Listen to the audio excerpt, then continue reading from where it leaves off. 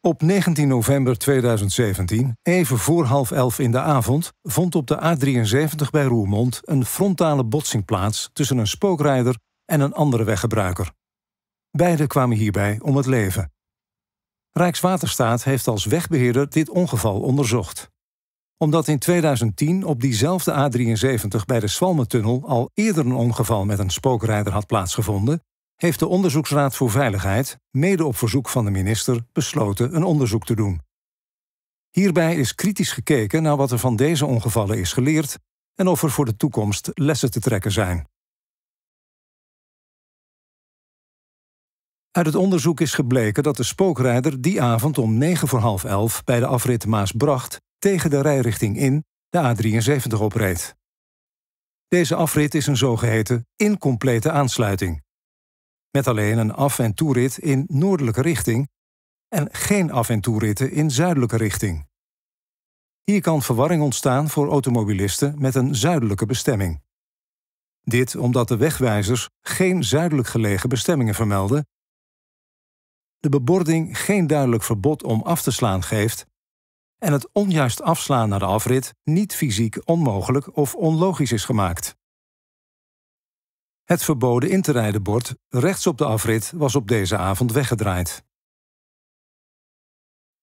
Direct toen de spookrijder de snelweg opreed, belden andere weggebruikers 112 om de gevaarlijke situatie te melden. Deze meldingen kwamen bij verschillende meldkamers binnen en werden een aantal keer telefonisch doorverbonden. Daarbij ontstond verwarring over de positie en rijrichting van de spookrijder en er waren enige minuten mee gemoeid voordat duidelijk was waar de spookrijder reed.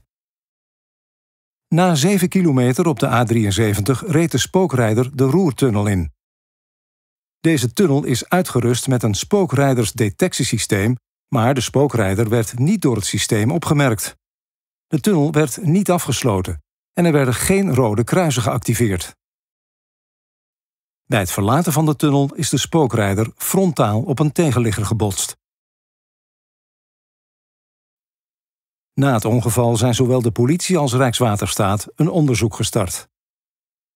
Rijkswaterstaat richtte haar onderzoek in 2010 en 2017 vooral op de tunnelsystemen, omdat daar eerder problemen mee waren. Het onderzoek deed Rijkswaterstaat alleen.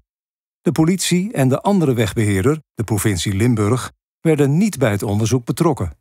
Er werd niet gekeken naar de oorzaak van het spookrijden, hoe, waar en waardoor de spookrijder de A73 op was gereden. De vraag in hoeverre een spookrijdetectiesysteem in tunnels aan het voorkomen van het ongeval kan bijdragen, bleef buiten beeld. Ook legde Rijkswaterstaat de focus op het voldoen aan normen en procedures voor wegverkeersleiders en tunneloperators. De vraag of deze normen überhaupt een ongeval konden voorkomen, werd niet gesteld. En alhoewel Rijkswaterstaat naar aanleiding van zijn eigen onderzoek aanpassingen deed aan de verwerking van meldingen en het spookrijsysteem, meent de onderzoeksraad dat er kansen zijn gemist om van dit ongeval te leren hoe de veiligheid kan worden verbeterd. Door een arts zijn in opdracht van het OM bij de spookrijder bloed en urine afgenomen. Maar omdat beide betrokken bestuurders bij het ongeval zijn overleden, is het strafrechtelijk onderzoek al snel gestopt en zijn de monsters vernietigd. Hierdoor is geen uitsluitsel gekomen of alcohol- of druggebruik mogelijk een rol speelde. Samenvattend stelt de onderzoeksraad vast dat er meer van ongevallen geleerd kan worden dan nu is gedaan. Voor een bredere blik is het nodig om het onderzoek uit te breiden naar de verkeerssituatie op provinciaal en landelijk niveau. Door niet alleen te toetsen of aan de norm is voldaan, maar diezelfde norm ook kritisch tegen het licht te houden. En door juridische belemmeringen om de conditie van bestuurders te onderzoeken, ook als er geen vervolging plaatsvindt, weg te nemen. Hierdoor kunnen onveilige verkeerssituaties beter in beeld komen en veiligheidswinst worden behaald.